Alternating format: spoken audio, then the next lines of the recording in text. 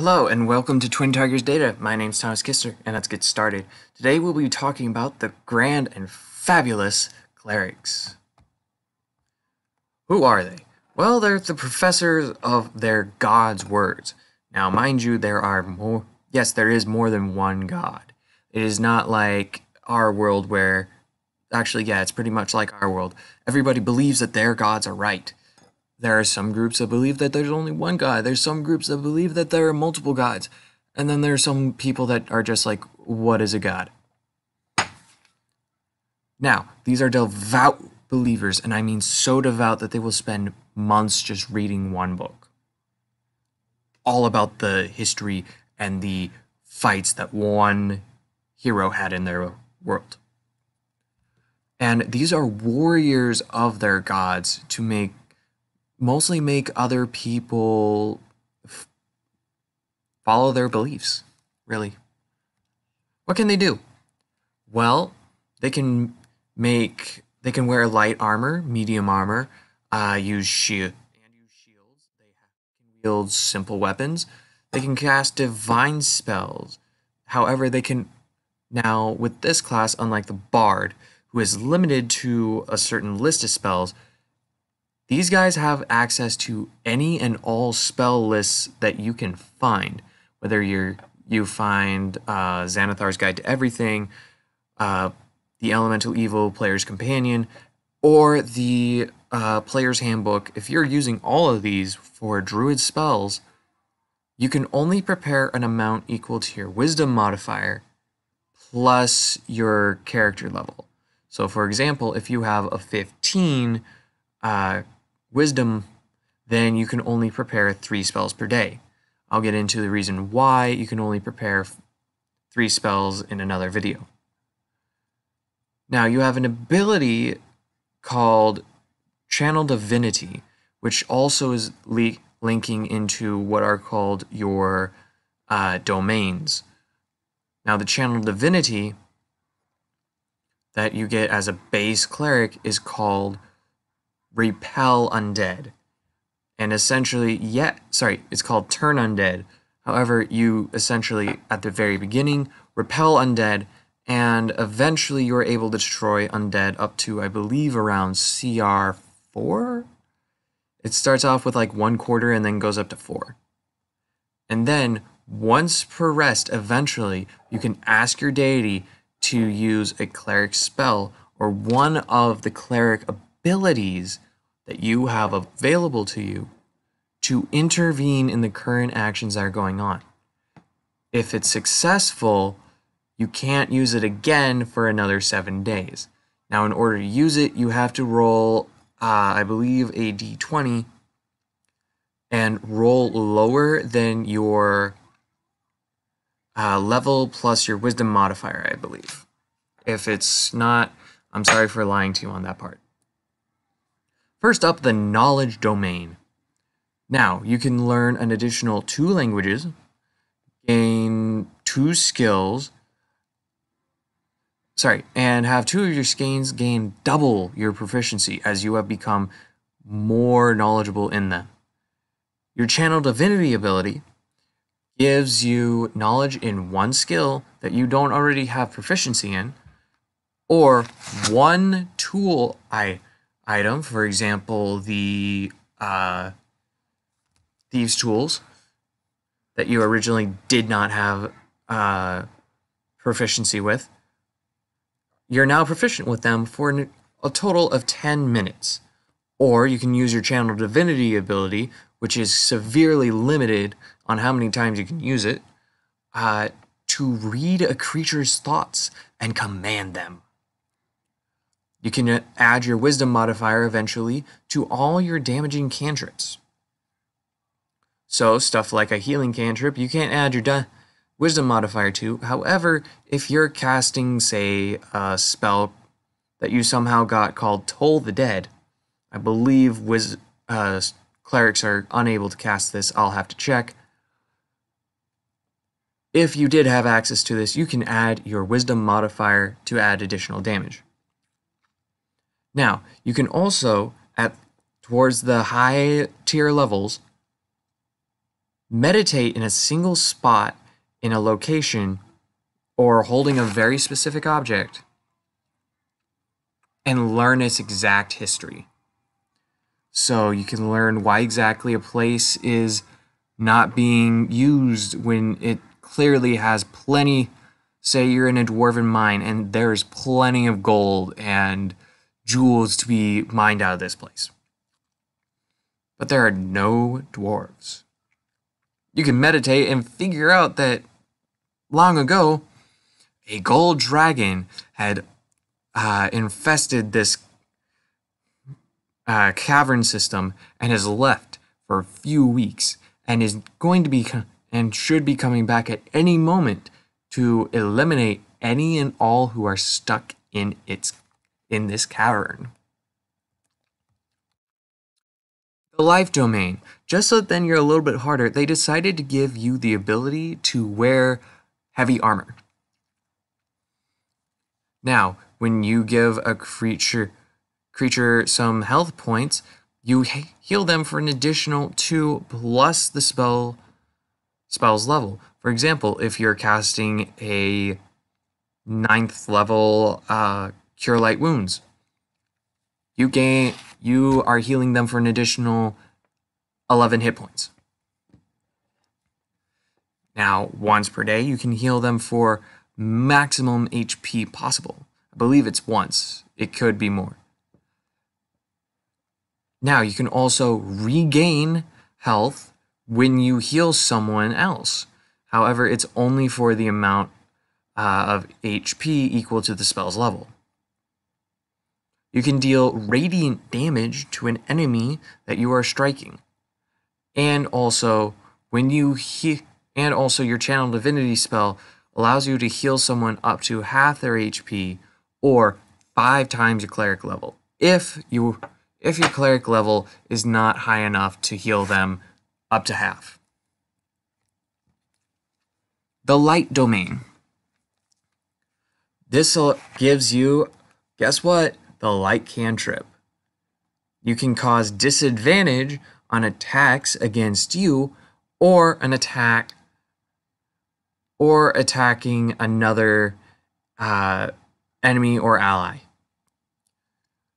Now you can add your once again you can add your wisdom modifier to your damaging cantrips. You essentially become a human light bulb that ca- causes disadvantage on all spells that deal fire damage or radiant damage.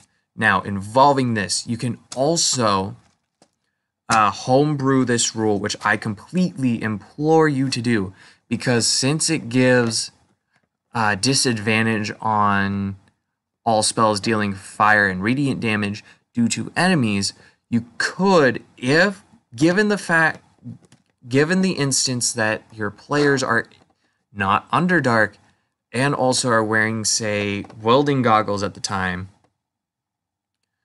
you could give them advantage to move out of the way of fire and radiant spells for example, create bonfire, which requires the enemy to make a dexterity save. If they are fitting that description, you can instantly say, oh, yeah, you get advantage on that. I mean, it's completely usable and also kind of makes sense as in all reality, to me at least. Now, you can channel divinity, dispel all magic, magical darkness, and also, all enemies that are not totally covered might take radiant damage given they fail their save. Fail their saves. The nature domain. This one specifically gives you a druid cantrip, and also you gain proficiency in heavy armor along with one out of three different skills. I believe, do not quote me on this, that it is animal handling, nature, and survival. I could be wrong, however, that without the book being right in front of me, it that does sound like those are the three. Now, you can give yourself or an ally resistance to all acid, fire, cold, lightning, or thundering damage. However, this resistance only lasts on one hit that the character is immediately facing. So if your barbarian is the only one standing and you know that all of your ally characters are about to be knocked unconscious anyways, but the barbarian is still going to live, you can use and it's say a red dragon and you haven't used your reaction yet. You can use your reaction now to give you, the barbarian resistance against its fire breath to let it last a few more rounds before he probably kills it or he gets killed himself, depending on how far along you've been striking at it. Now, you can also deal fire, cold, or lightning damage to an enemy. As a channel divinity ability, you can charm animals or plants for one minute, and like I said inside my previous video on bards, or until something that usually drops a charm happens. For example, they get hit by an ally, or they get hit by uh, an enemy, or they do. You tell them to do something that they cannot do. For example, commit suicide. This is not the ability like a death note. You cannot tell the character, sorry, you cannot tell an NPC to commit suicide. Sorry, guys who love Death Note. I had to say it for you. Yeah. Now, eventually, instead of charming them, you can completely command them, which I believe gets you closer to being able to commit suicide. Either that or you do allow the, it allows you to command them to commit suicide. Tempest. Let me get one thing straight here. Tempest is not uh, fighting. Tempest is like Thor when he lost his lost Mjolnir and he got and he got little sparks coming off of his fingers. So essentially this is thunder and lightning. You gain proficiency with martial weapons and heavy armor. Essentially, you can thunderously rebuke rebuke rebuke rebuke enemies and also, when dealing lightning damage to someone, uh, you can push them back an additional 10 feet. When you can also gain a lightning styled divine strike. This one, honestly, I like the most out of this uh, specialization, which is why one of my, uh, I believe one of my Clerics for Adventures League uses this. Uh, however, I haven't used her yet, so I can change it to whatever I want. You gain a flying speed when you are not underground or indoors. So essentially, if you're not standing uh, inside the castle and just out on the uh, terrace, you can fly around. Now, as a channel divinity ability, if you're casting, say, Lightning Strike, you deal maximum possible damage with that Lightning Strike. The Trickery Domain. Now, in 3.5, there was this wasn't really a thing. You don't get one uh, special. You don't get one domain that you can only cast spells with. Back in 3.5, you actually got to pick two specializations, sorry, two spell domains, and I literally found the closest way I could come to being a rogue while at the same time being a cleric. I figured this out by being a cleric of Olidammara, however, off topic, really off topic. However, kind of on topic, anyways. Uh, the trickery domain is essentially kind of like your rogues or the bards when they're acting all sneaky and con artist like. You give a creature other than yourself advantage on dex saves for one minute. You can also turn your plus two longsword into a plus two longsword with poison damage. Just an example. And also as a channel divinity spell, sorry, channel divinity, you create one and eventually four duplicates of yourself that are all illusions for one minute, or you lose concentration. However, when all four of you can move up to 30 feet within 120 feet of yourself, and when you cast spells with the other care with the duplicate, you essentially both do it and uh, get advantage to hit if it's one of those.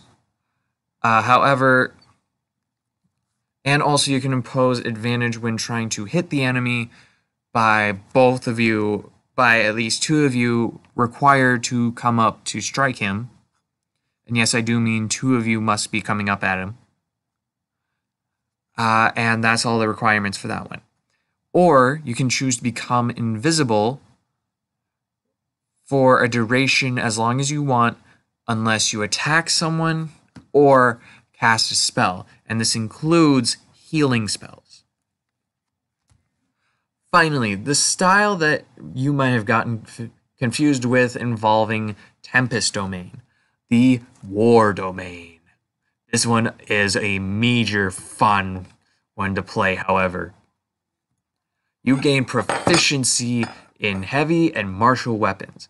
You gain a you are able to attack as a bonus action. And when you swing with your sword, you can choose to deal an extra extra damage equal to I believe it's like a d8 at very beginning.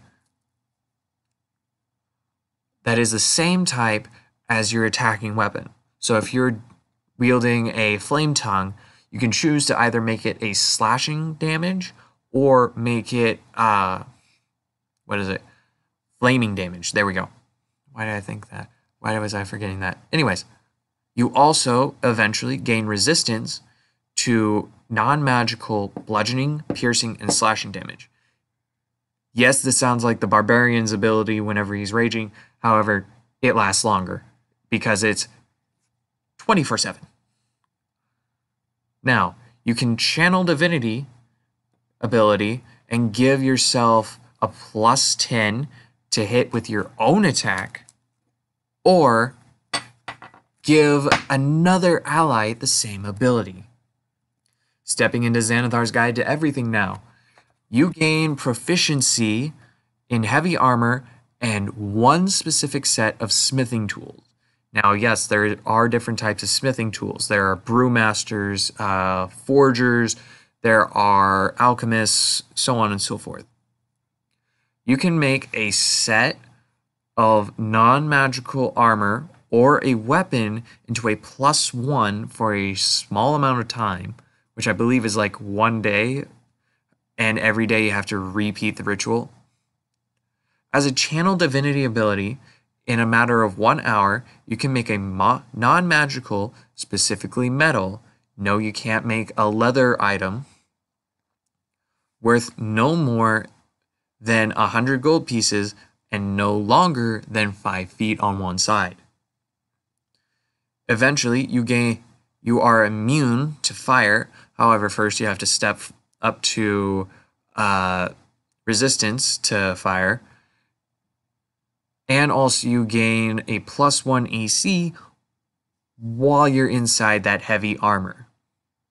You also have resistance to bludgeoning, piercing, and slashing damage from non magical weapons while in heavy armor.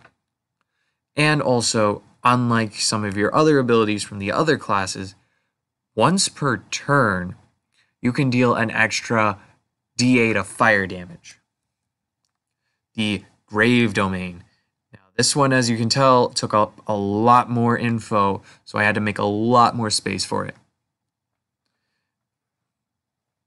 Now, when you're bringing someone up from zero hit points you can bring you can use the maximum amount of hit points. So if they're at like 3 hit points, you can't use this ability. However, so they need to be at exactly 0. Luckily, in D&D 5th edition, there is no negative numbers. So there's no negative one, sorry, negative one, negative two, negative three, none of that in this game. There's only uh, zeros. Now, you can cast Spare the Dying as a bonus action now at a range of 30 feet.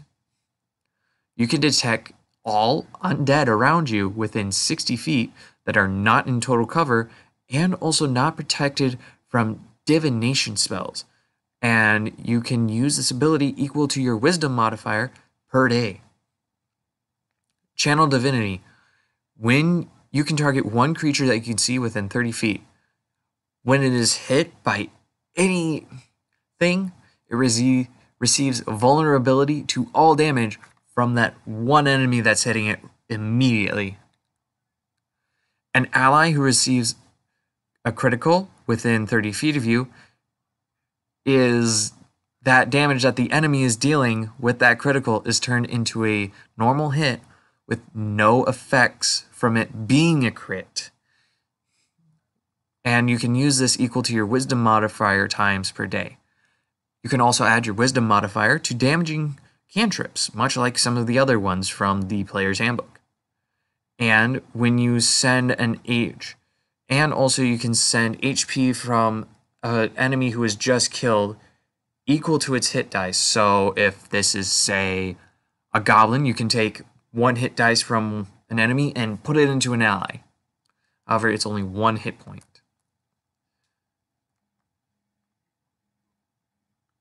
Now, from the uh, Sword Coast Adventurer's Guide, the only other book that has any specializations in it for that I've seen as far as right now, or at least that are AL legal, you gain proficiency in Arcana and two wizard cantrips are added to your spell list. Now, Channel Divinity, you can turn one Celestial, Elemental, Fey, or Fiend for one minute, or until it takes damage because the Barbarian was an idiot and decided to swing its sword at it as it was running by and managed to hit. And at a certain CR, these monsters can be banished away instead and it starts off really low with like a quarter and it slowly builds up.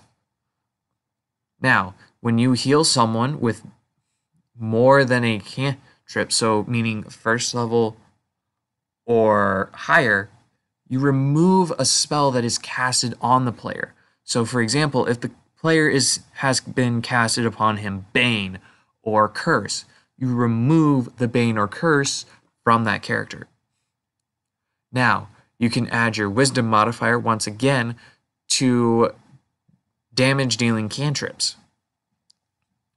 And eventually you get to add four spells from the wizard spell list to your cleric spell list. However, these four spells must be one sixth, one seventh, one eighth, and one ninth spell. One ninth level spells. So you have to pick from the sixth level spell list one of those. From the seventh level spell list, you pick one of those. From the eighth level spell list, you pick one of those. And from the ninth level spell list, you pick one of those. All right, so what should you play? What group of players are you playing with? Uh, how can you help these idiots? Uh, uh, I mean, players. uh, the most how can you what can you do to keep the players alive the most do they really need that healing guy or do they have that pretty much solved by the next class i'm going to do which is called the druids